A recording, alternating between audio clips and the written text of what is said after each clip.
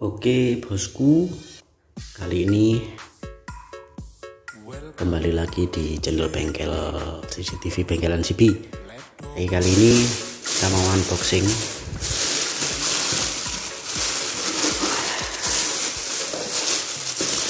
Mau unboxing Gerenda. Pangil dulu dulu dulu sek perawan lur angel mulan wah bahasanya warning. Ah tunggu ya bahasa Jerman. Wah bahasa gak jelas sih. Hmm.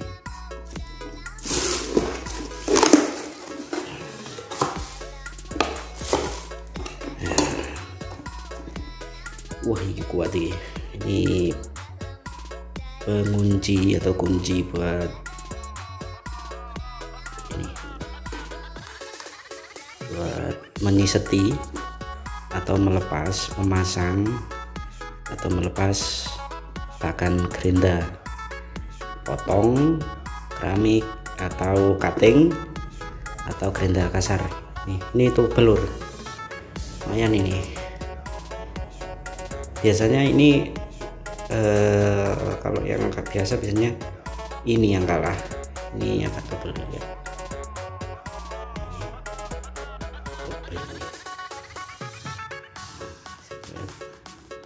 Tebel ini kayaknya 2, 2 mili ini 2 mili.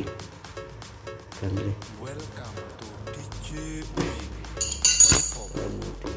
Kemudian ah, ah, oke. Ini kita kemarin beli yang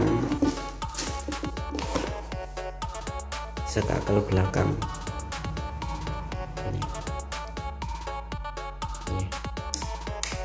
Karena kalau yang sekakel depan sekakel yang sini harganya agak lebih murah. Kemarin ini sekitar 400 kalau yang sekakel depan biasanya 300 berapa gitu loh. 380 atau 385 di toko ya lur. Bukan di online ya. Kalau di online mungkin agak lebih murah. Jadi ini Matek MT 91A 220 volt 2,6 ampere. HZ nya 50 sampai 60 ini wattnya. Wattnya 540 dan RPM nya itu 12.000 per menit jadi ini uh, Makita dari produk dari Makita. Ah, Maktek tapi made nya Thailand. Made nya Thailand. Sekedar bolo-bolo tahu kalau untuk Maktek sendiri eh, Makita kalau produk Makita itu sekitar 700 kemarin saya tanya itu sekitar 700 jadi ini 400 ya lumayan lah. Kemudian ada pengaman pengaman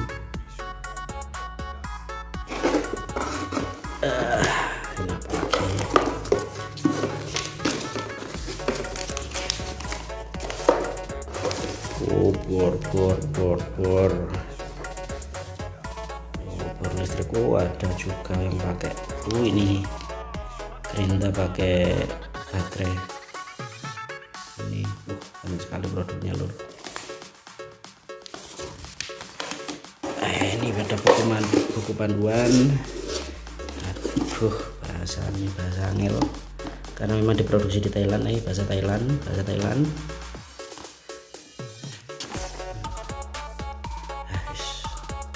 Ini petunjuk petunjuk. Petunjuk. Kalau bahasa Indonesia ini belas oh ada ada ada lor ada bahasa Indonesia nya lor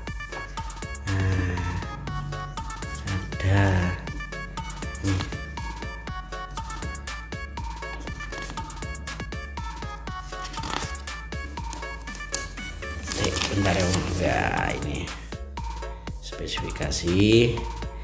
Nah ini. Di beratnya ini 1,6 kg satu setengah kilo lebih. Ini ada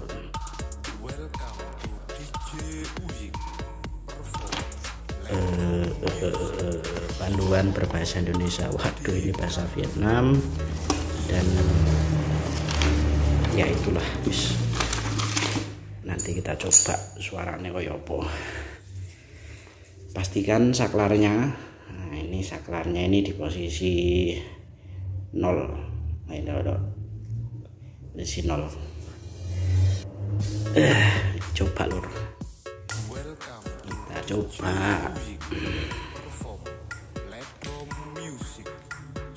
Sabar lur ya karena kita baru pindah jadi masih berantakan lur. Berantakan semua ya kalau kemarin kita di Malang kali ini kita di Blitar. Di harus beli alat-alat baru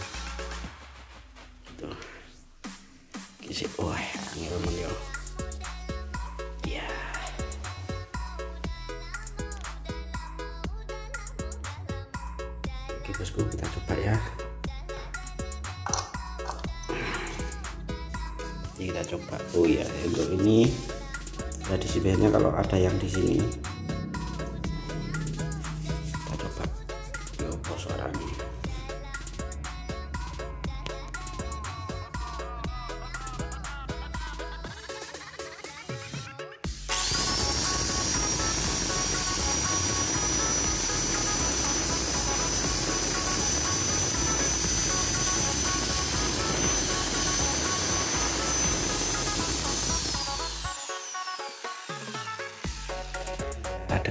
RPM sekitar ya tadi lumayan lah.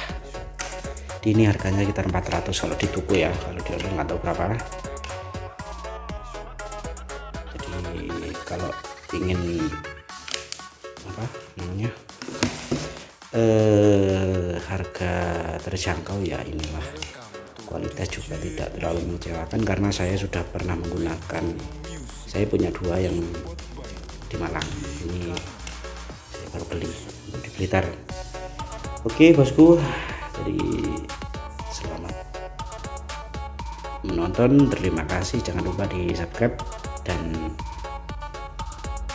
assalamualaikum warahmatullahi wabarakatuh